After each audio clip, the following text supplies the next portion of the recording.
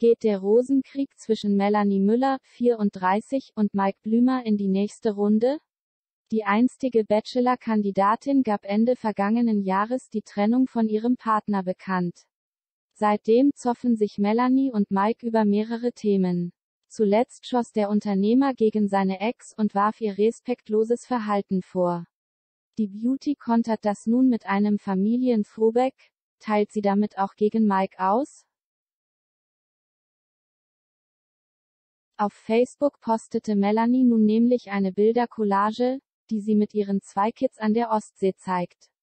Das waren ein paar schöne Tage.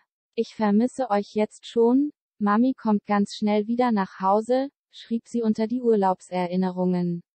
Mit euch bis ans Ende der Welt, fügte sie an ihren Nachwuchs gerichtet noch hinzu, auch eine Kampfansage an ihren Ex Mike? Zuletzt hatte sich das einstige Paar nämlich immer wieder um die beiden gemeinsamen Kinder gezofft. Dabei war Mike jetzt immer mehr in die Offensive gegangen.